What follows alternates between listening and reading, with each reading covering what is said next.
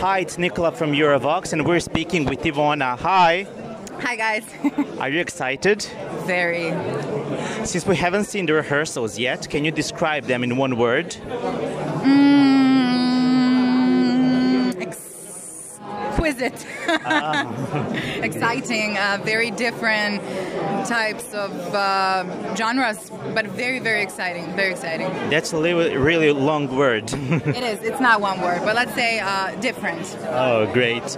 Uh, if you had to re-record your song in different genre, what would you choose and what would you change? I would probably put like uh, electric guitar, for example. Great. And uh, this uh, this song is very different comparing to your last one. Why It did you decide to write a banger?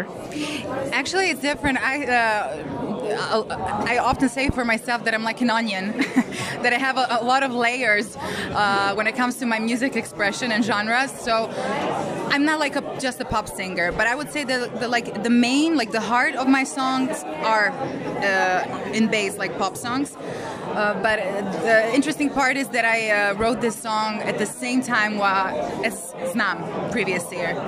So I don't know. And this was the only song that I wrote during the day because usually I have inspiration during the night. But I don't know. I, I love bangers. I mean, I listen to uh, the house music and techno music when I go out, when I go to the festivals. That's something I, I enjoy. Great.